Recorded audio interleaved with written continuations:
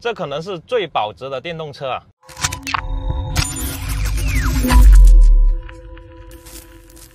今天二手车行跟我说，收了一台可能是最保值的电动爹啊，而且是全球销量领先的那一台。你能猜到什么车型呢？给你三秒钟时间，一、二、三。你以为是特斯拉，并不是啊，其实是五菱宏光 mini EV 啊。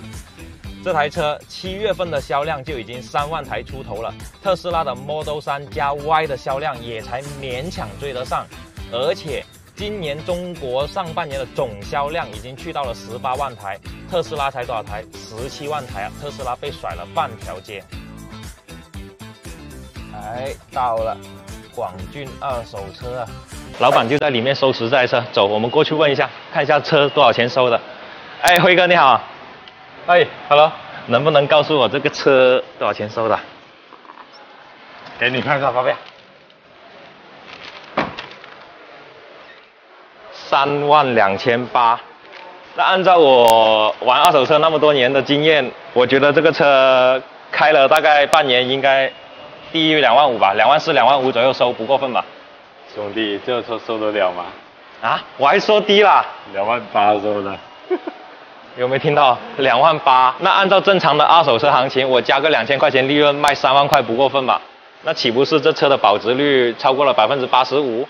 那我说这车的保值率比小鹏特斯拉还要高，你们有意见吗？评论区告诉我。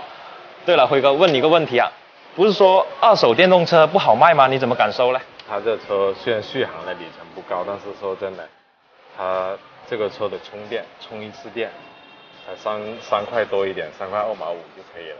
啊，三块钱就能把这个车充满了，要加到两毛五。哦，不好意思，我说少了两毛五啊。那像这种车，开一个两三年再卖出去的话，还能卖多少钱呢？这个呢，我就不好评论。但是说在按照这五菱来说哈，它本来做这个品质啊，好像以前的五菱荣光一样，你三万多的指导价那种车，幺幺年都要一万一二，那车况亮一点的，我相信这个车。应该都会保值。哦，就像五菱宏光那一种三万多的指导价，开个大概十年了，还要卖个一万多。嗯。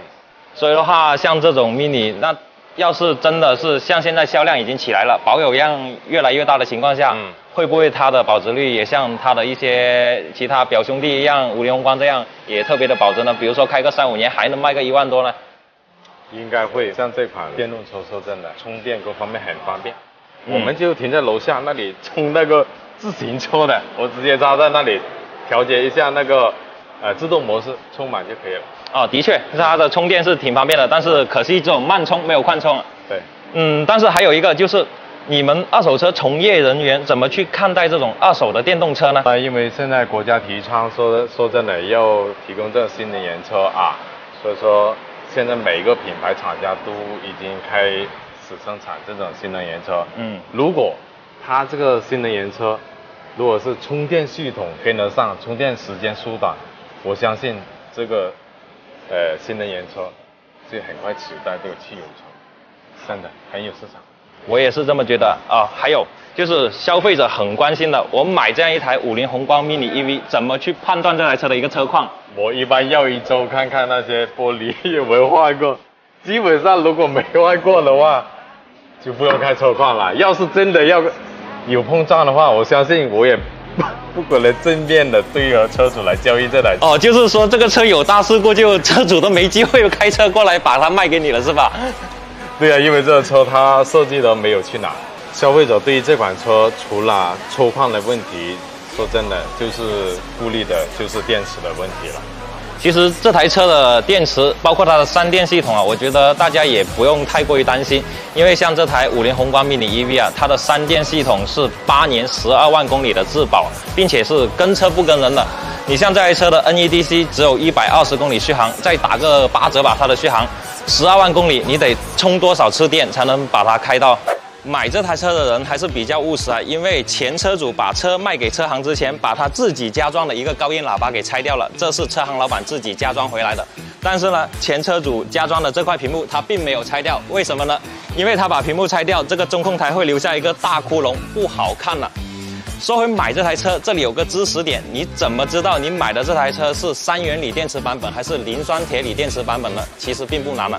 在副驾驶门板这里有个名牌，你把上面的电流跟电压相乘，得出的数字结果，去一些汽车网站对比一下电池参数，你就知道了。